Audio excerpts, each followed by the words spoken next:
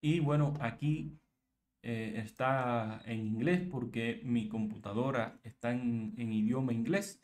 Esta es otra, eh, digamos que en, cuando usted instala una distribución GNU Linux puede seleccionar el idioma. En, mi caso siempre he usado inglés por una cuestión de costumbre, pero también puedes eh, seleccionar español. Así que aquí vamos, podemos agregar una máquina virtual si ya tenemos una máquina predefinida, pero no es nuestro caso. Por lo tanto, vamos a seleccionar una nueva máquina virtual.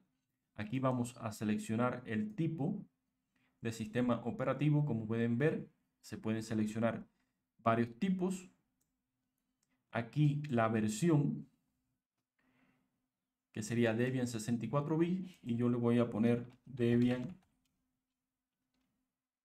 64.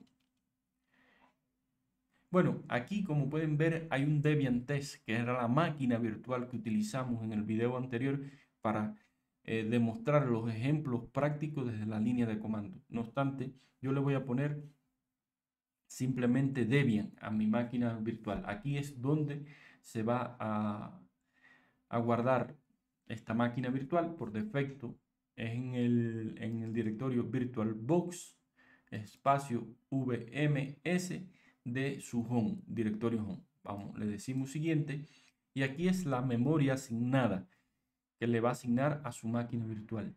Como es una interfaz gráfica, yo le voy a asignar un poquito más. Yo le voy a asignar le voy a asignar, si usted tiene mucha memoria, puede asignarle aproximadamente 8 GB, ¿verdad?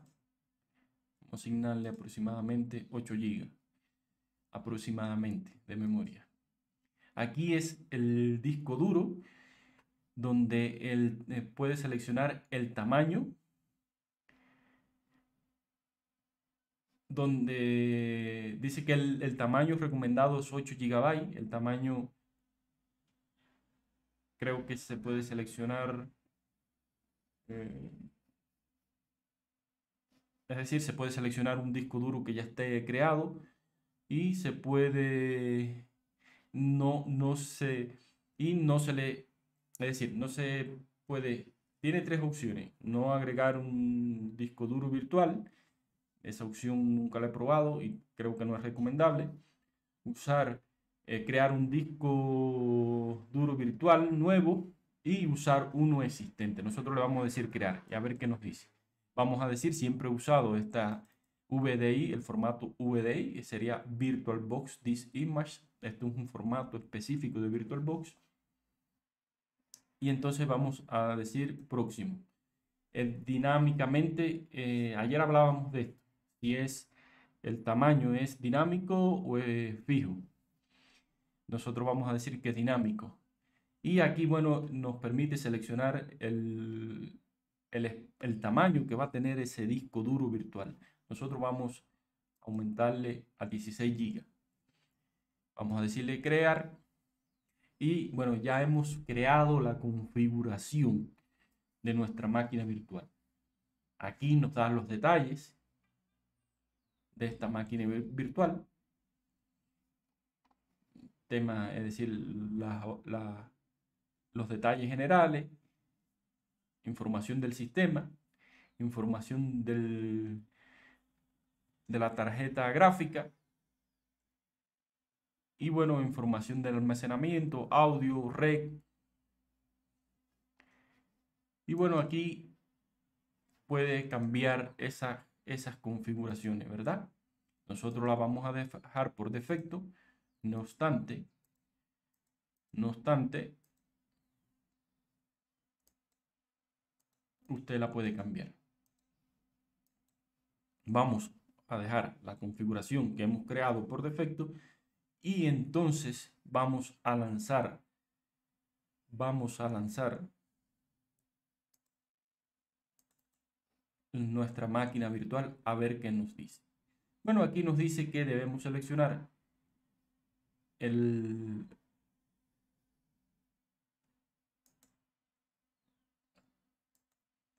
nos debemos seleccionar nuestro, nuestra imagen desde el cual vamos a realizar la instalación. Y aquí nos da, bueno, Debian 11, AMD Next Install, esa no, vamos a seleccionar una,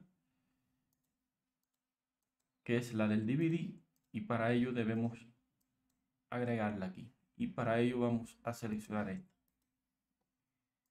No atache vamos a decir seleccionar DVD y vamos a decirle estar a ver qué no gráfica instalación gráfica bien es decir instalación gráfica Aquí podemos seleccionar el idioma, que era lo que le comentaba anteriormente. Nosotros vamos a decir que es inglés. Esta es la el location. Puede seleccionar otra. Y aquí Suramérica.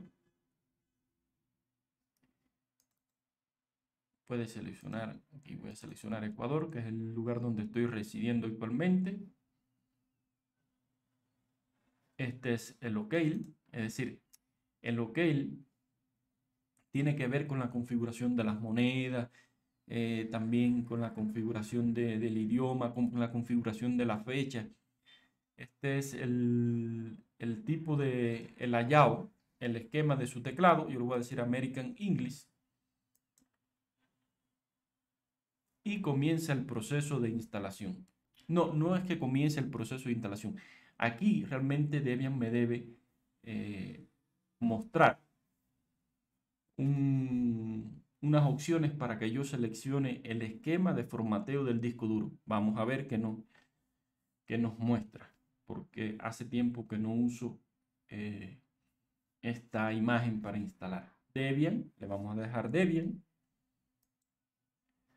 el dominio, le voy a poner localhost, usted le pone el dominio.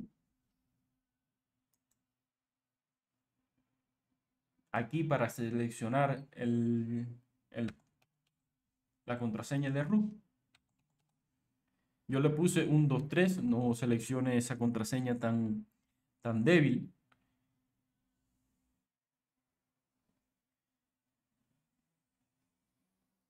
Le decimos continuar y le voy a poner, por ejemplo, de nombre LibreBay, el nombre del, del, usuario, aquí es el nombre completo. Y bueno, este es eh, este usuario. Vamos a ponerle un minúsculo, LibreBay. Este usuario va a tener permisos de administración, es decir, va a ser capaz de ejecutar tareas administrativas usando la herramienta sudo. O sea, para usando la herramienta sudo puede ejecutar eh, tareas eh, de root, realmente que solo están permitidas al usuario root. Decimos continuar. Bueno, en el paso anterior parece que era el nombre completo del usuario y en este es el nombre de la cuenta. Por lo tanto, podemos poner aquí libre mayúscula. Aquí puede, usted puede poner sus nombres y apellidos. Y aquí entonces el nombre realmente del usuario, el nombre de la cuenta, libre minúscula, le decimos continuar. Vamos a seleccionar la misma contraseña 123.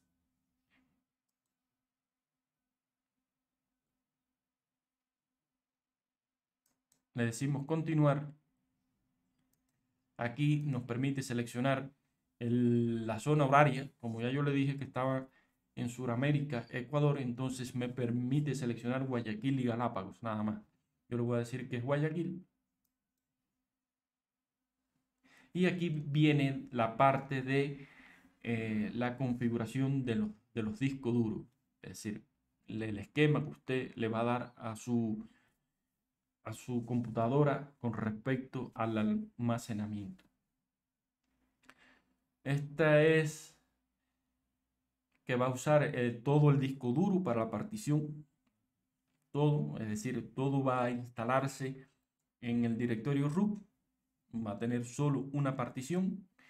Esto no es recomendable, puesto que lo más recomendable es, si usted tiene eh, si usted lo está haciendo para una computadora escritorio, entonces lo más recomendable es usar una partición para su directorio home y otra partición para el sistema operativo. Si es en el caso de los servidores, entonces por lo menos debe tener tres particiones. Una para, el, para es decir, para el sistema directorio root. Una para bar, para el directorio bar. Y otra quizás para el directorio TMP.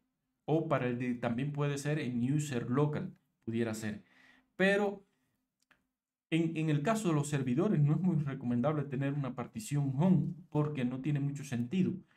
Eh, no, en la partición home de un servidor no se va a guardar del usuario, no se va a guardar muchas cosas. No obstante, también es válido, es decir, puede tener una partición para root, una partición para home.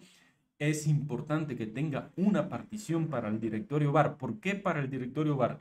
Porque en el directorio bar van todos aquellos ficheros como librería, van eh, los logs que, crecen, con, que están cambiando constantemente o pueden crecer. Y digamos que si usted tiene una aplicación que tira los logs para el directorio bar y mm, dado un, una determinada situación empieza a, escribir y a generar logs con, muy rápido, entonces se le llena la partición del sistema operativo y entonces se le llena la partición del root, o sea, la partición como tal del sistema operativo y deja el sistema operativo sin espacio en disco duro. Y esto puede crear eh, inestabilidad en su sistema. Por eso es recomendable siempre para un servidor crear una partición específica para el sistema para root, o sea, para, para donde están los archivos del sistema operativo.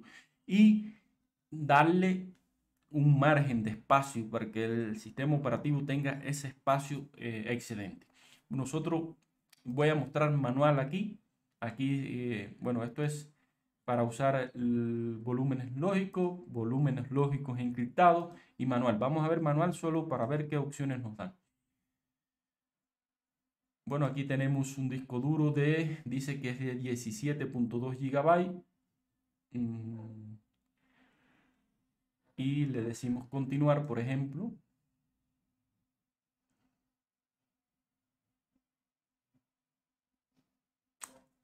Bueno, esto es, dice que seleccionemos.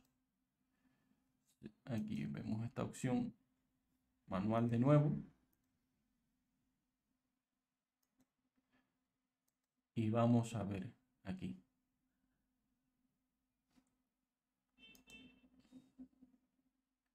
Bueno, realmente no me está dando, no me está dando la posibilidad de seleccionar mi esquema de partición. Vamos a ver si es que debemos continuar. Ah, y aquí es donde podemos eh, crear bueno, nuestras particiones, nuestro, tal y como las había comentado. No obstante, nosotros no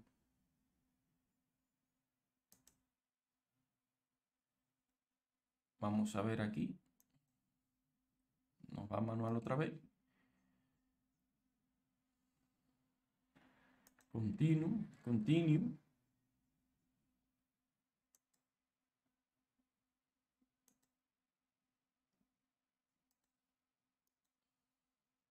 Y aquí es donde nos permite crear una nueva partición. Nosotros, por ejemplo, podemos decir, vamos a crear una nueva partición y aquí le especificamos el tamaño, ¿verdad?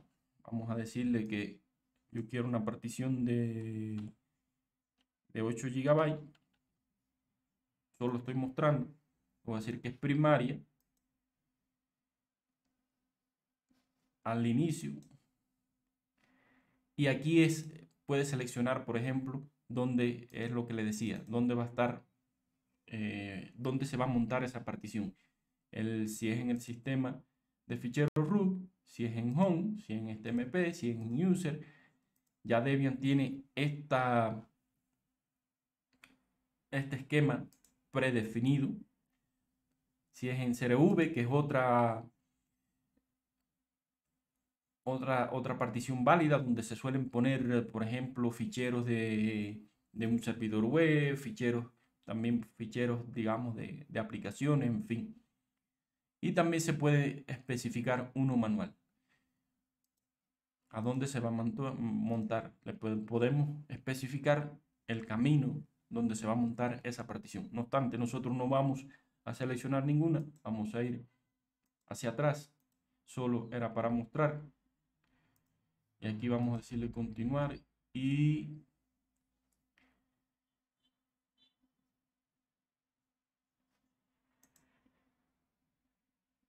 bueno, aquí vamos a decirle continuar.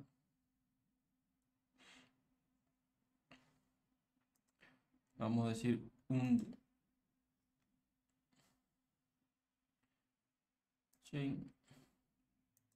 Vamos a seleccionar el disco duro completo.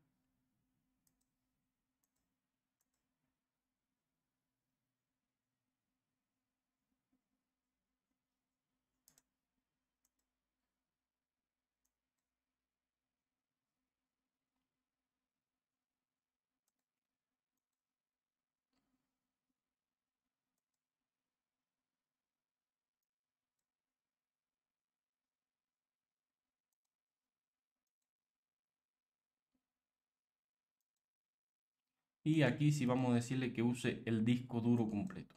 Bien. Incluso aquí nos permite también seleccionar un, en un esquema específico. Le vamos a decir que todos los ficheros en una partición. Continuar. Le decimos que sí, que es la configuración y comencemos el proceso de instalación como tal.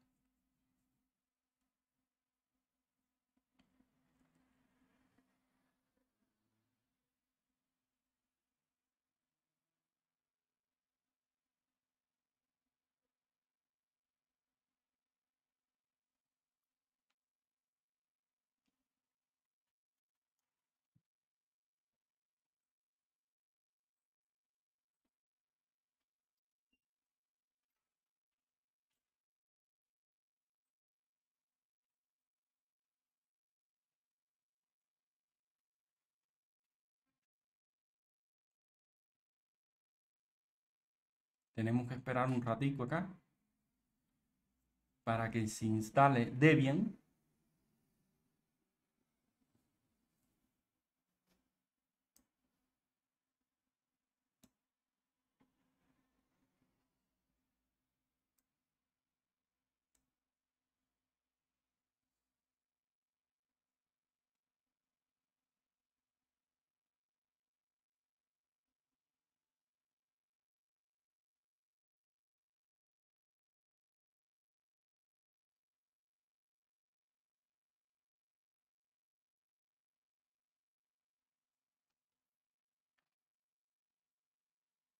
Debian es una, una de las distribuciones que más me gusta, fundamentalmente porque tiene una filosofía que solo incluye software libre en sus repositorios oficiales o en las imágenes oficiales, es decir, no hay software privativo.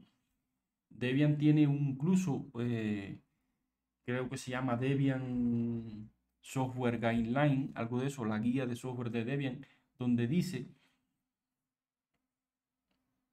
donde dice que, eh,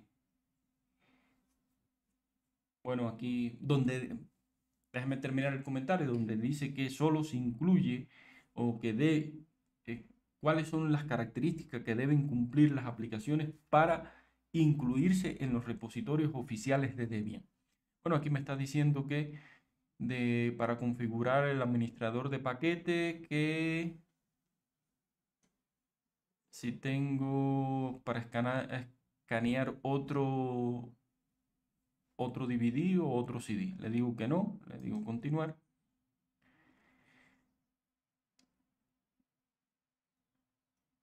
Ajá, si voy a usar un, un mirror, en este caso usted seleccione sí. Yo le voy a decir que no. Ajá, lo que está diciendo es que a pesar de que el DVD es una imagen que contiene un gran número de paquetes, por supuesto, no va a contener todos los paquetes eh, que están disponibles en los repositorios de Debian. No obstante, usted le puede dar no y luego configurar el administrador de paquetes para que pueda instalar eh, paquetes adicionales de los repositorios. O lo puedes hacer desde aquí mismo. Vamos a darle yes a ver qué nos aparece. Aquí nos, nos aparecen los eh, repositorios. Mm, aquí le seleccionamos Argentina, Chile, creo que está entre entre Chile, creo que Chile queda más cerca. Puede ser Costa Rica, también puede ser El Salvador. Creo que Chile es el más cerca. Vamos a ver, evidentemente en Ecuador no hay ningún mirror, mirror público. Seleccionemos Chile. Seleccionemos Chile. Sí, creo que Chile es el que, que nos queda más cerca. Decimos continuar. Seleccionamos continuar. Y aquí le decimos que no tenemos ningún proxy. En el caso que usted esté detrás de un proxy, lo puede especificar de esta manera que está acá. Le decimos continuar. Y ya está configurando el administrador de paquetes.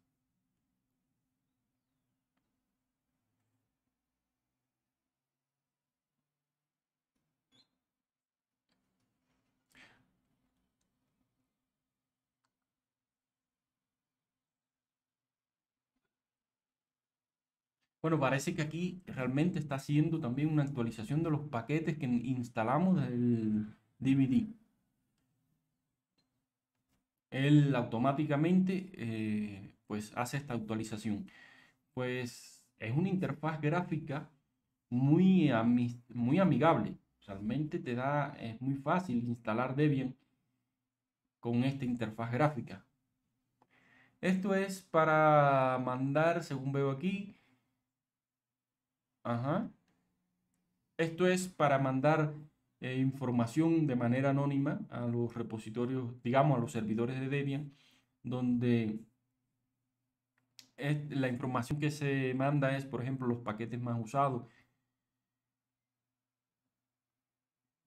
Ajá, es esto mismo. Es, incluso lo puede lo puede, le decimos que no por el momento, no obstante se puede cambiar ejecutando este, este comando luego. Decimos que no, continuar.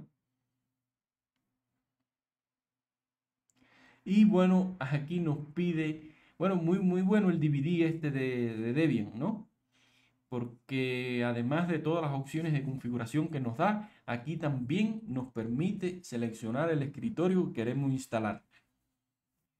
En este caso, yo voy a decir que el que quiero instalar es LXDE porque es un escritorio ligero y, desde el punto de vista de paquetes tiene mucho menos paquetes que los demás eh, escritorios. Quizás el otro esté en igualdad con LXQT, que es también un escritorio ligero, pero de ahí para allá todos los demás son un poquito más eh, más pesado que LXD. Digamos que quizás vienen en este orden LXD, LXQT, eh, XFCE, Mate, eh, bueno, Cinnamon, KDE, Genome, en fin. Le decimos continuar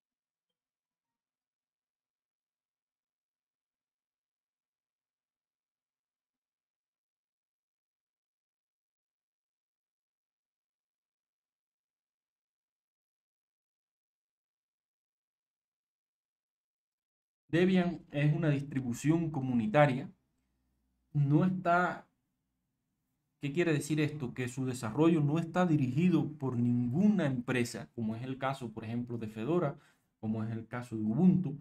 Fedora, el desarrollo está guiado por Red Hat, mientras que Ubuntu está guiado por Canonical. Y, y así hay muchas distribuciones que el desarrollo está guiado por una empresa en específico y por supuesto responde a los intereses de esta empresa, mientras que Debian el desarrollo está guiado o liderado por la comunidad, donde mm, no estoy seguro si es anual o pero sé que es cada cierto tiempo se elige un, un líder, líder de la comunidad de Debian, y entonces este líder tiene la responsabilidad de guiar conjuntamente con la comunidad de guiar el desarrollo de Debian. Pero se le pregunta, digamos que en las decisiones fundamentales de la distribución, se le pregunta a la comunidad, se hace a través de una encuesta y la comunidad vota. No solo votan los desarrolladores de Debian, sino votan también los usuarios de Debian y por supuesto las empresas también pueden votar, eh, pero no tienen una, un, digamos, una decisión o un peso importante dentro de las decisiones eh, de la comunidad como tal. Es decir, es colectivo. Por eso es que me gusta Debian, porque es colectivo. La otra parte que me gusta Debian es que es una de las distribuciones más estables que, existe y más longeva. Creo que eh, desde 1991, creo que hay una distribución que es más longeva que Debian y es, ahora mismo no recuerdo el nombre,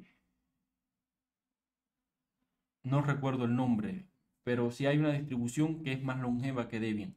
Luego creo que está esa distribución, luego viene Debian y entonces eh, pues tiene, los desarrolladores tienen mucha experiencia y otra de, la, de, la, de la filosofía de Debian, además de la de incluir solo software libre en sus repositorios oficiales, otra de la filosofía que me gusta es que Debian está listo solo cuando todos los paquetes han pasado por un proceso de control de la calidad, digamos, eh, es exhaustivo. No tiene ciclos de lanzamiento. Realmente Debian no tiene ciclos de lanzamiento, no es como Fedora, que es cada seis meses, no es como Ubuntu, que es cada seis meses, sino es cuando la distribución esté lista. Esto, por supuesto, contribuye a la estabilidad del sistema, ya que los desarrolladores no tienen una presión con el tiempo, con los ciclos, con cumplir determinados ciclos de lanzamiento. Y esto es otra de las cosas que me gusta de Debian. ¿Qué más de decir de Debian? Que Debian creo que tiene más de 50 de 50.000 paquetes en sus repositorios oficiales. Y esto es otra de las características. ¿Qué más?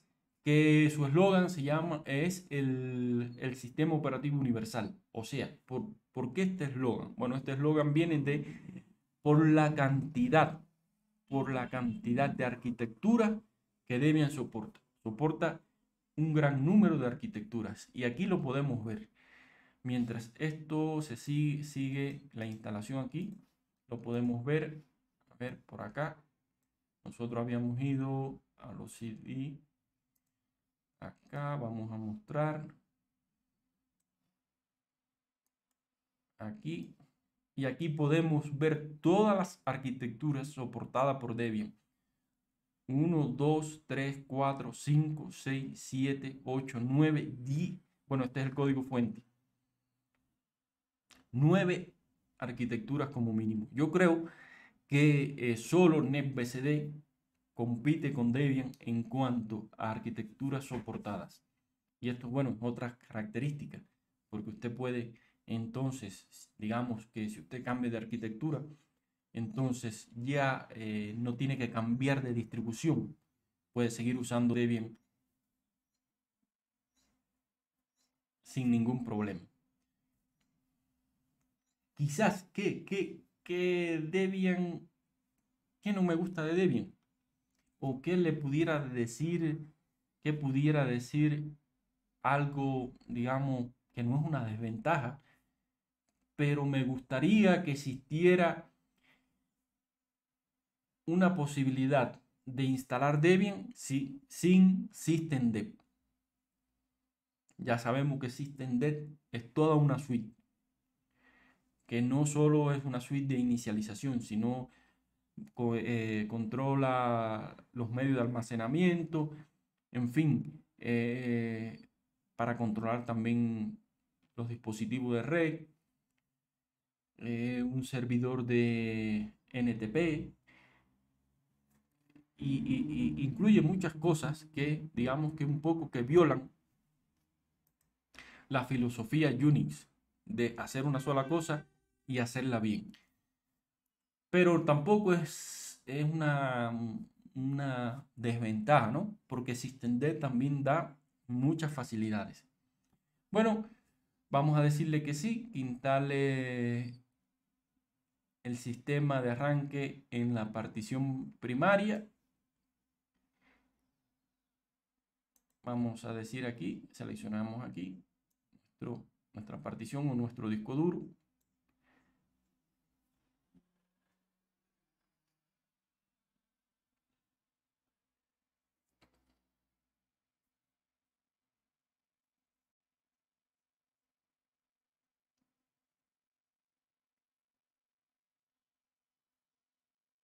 ¿Qué otra cosa, por ejemplo, de Debian que debido a, este, a esta filosofía de lanzamiento, solo cuando esté lista la distribución, no incluye paquetes recientes. Por lo general, los ciclos de lanzamiento de Debian es cada dos años, más o menos. Puede pasarse unos meses, puede ser. Casi siempre es un poquito más de dos años. Pero si usted quiere tener una, una distribución con, los, con, los, con las últimas versiones de los paquetes, entonces lo recomendable es que use una distribución con un ciclo de lanzamiento frecuente como Fedora Ubuntu o mejor una distribución Rolling Release. Aquí ha terminado la instalación, le decimos continuar y vamos a ver qué nos hace. Bueno, como pueden ver, aquí ya podemos iniciar nuestro sistema operativo virtualizado.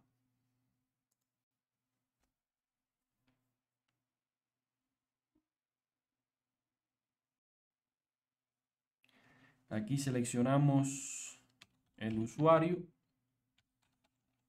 y aquí la contraseña.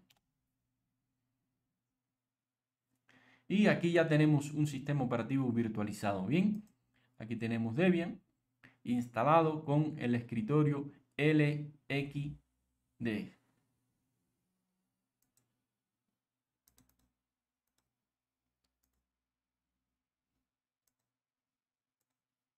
Vamos a ver.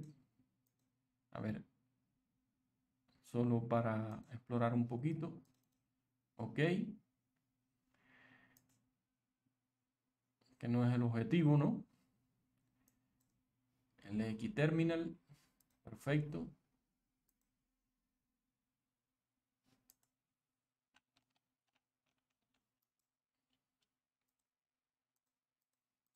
Y bueno, ya hemos instalado nuestra eh, distribución Debian en o virtualizado, mejor dicho, usando VirtualBox. Todo el proceso de instalación ha sido muy sencillo. Bueno, comunidad, esto es todo por hoy. nos vemos en un próximo video para seguir hablando sobre tecnologías libres.